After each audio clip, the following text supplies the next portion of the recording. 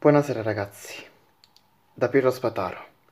Allora, questa è, questo video è per quanto riguarda la partita di Roma-Empoli, più le altre cose vi devo dire, ok? Allora, stasera c'è stata la partita Roma-Empoli, vinta 2-1 per la Roma, con tanta fatica purtroppo.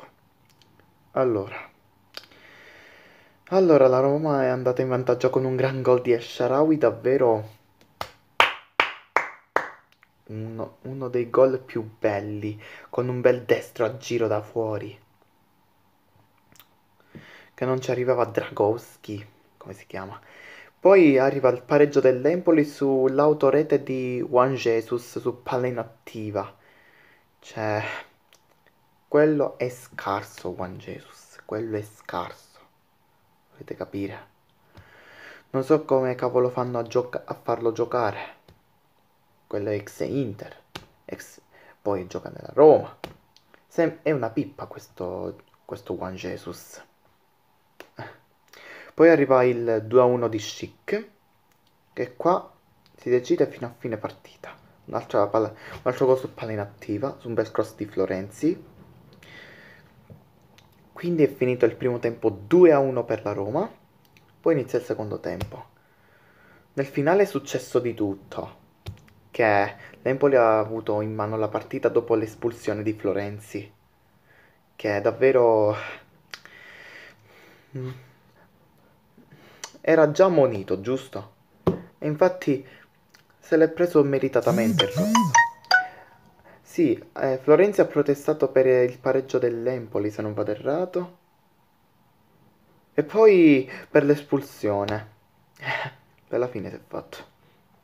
Poi, di proposito, quasi vicino al novantesimo è arrivato il 2-2 dell'Empoli, però col, fa- col fallo di mano era giusto annullarlo.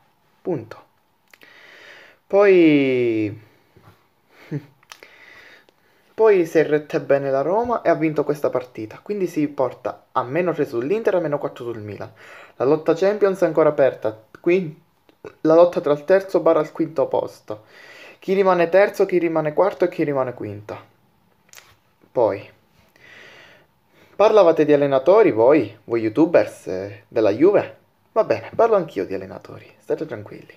Allora, allora, Guardiola stavate parlando di prima. Allora, Guardiola mi piace tanto. È uno degli allenatori più bravi del mondo. Purtroppo rimane ancora a City. Per me era un sogno. Poi quando ho visto Zinedine... Stavate, stavate parlando di Zinedine Zidane? Hm.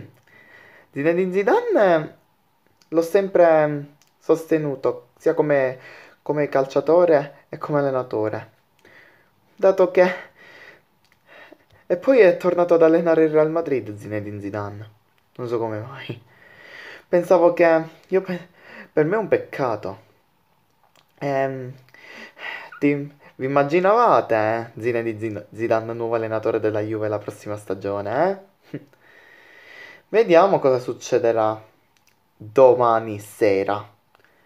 La partita dell'inferno. Juventus Atletico Madrid. Ok. Vabbè, raga. Non ho nient'altro da aggiungervi. Vi ho detto la mia. Allora, se volete di nuovo a un altro allenatore come tipo Antonio Conte, vabbè, qualche Juventino dice che è un passo indietro e poi qualche, qualche altro dice sarebbe ottimo. A me non me ne fregherebbe niente. A me mi interessa solo di, di onorare questa maglia, di sostenere questi colori bianco-neri. Lo capite, sì o no? Vabbè, va. Eh, domani dobbiamo... Non pensiamo, non pensiamo a Zinedine Zidane, eh, eh, di proposito. Pensiamo alla partita di domani, ok? Va bene. Allora, domani si sostiene la squadra. Non ci sarà sciopero, meno male. Tutti gli altri hanno parlato di sciopero, ma meno male che non ce n'è di sciopero. Ok? Vabbè, raga. Per me questo è stato un video molto serio. Così si sostiene la squadra, si incita pure. Bisogna anche incitare la squadra. I giocatori non devono ascoltare Allegri, perché si sa chi è Allegri.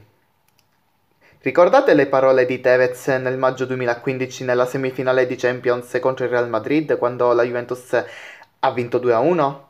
Quando è stato sostituito Tevez con Pereira, ha detto cagon. E infatti è vero, lui è un cagon. Esatto. E io questo volevo riferirvi.